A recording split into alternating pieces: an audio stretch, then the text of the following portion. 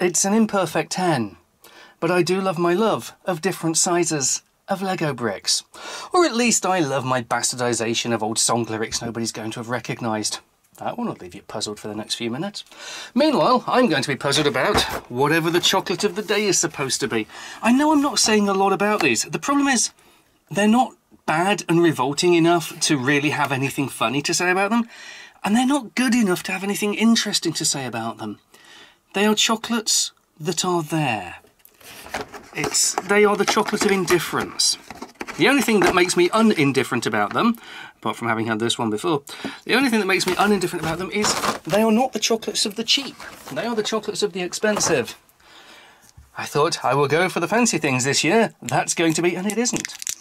Whatever I thought it was going to be, it isn't. Oh, in case you're wondering, this is the Danska Vodka Citrus, which doesn't taste of citrus or vodka or Danska. I don't actually, must admit, I don't know what Danska tastes like. I'm not a cannibal. Well, usually. Needs must and all that. And another one with stuff inside you can turn into a coal shovel with your teeth.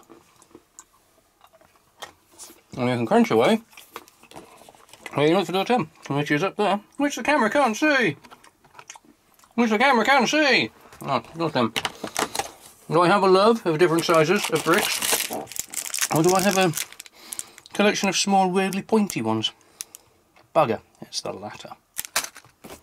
What do you get if you take a Spaceball, decapitate him, take his head, shove handlebars up the back of it, put a snowball gun on his forehead, and keep him forever alive so he can see and feel and hear everything that's going on, but no longer have a body to just gamble through the dunes of to Tatooine with anymore, as he watches all the carnage caused by his head gun.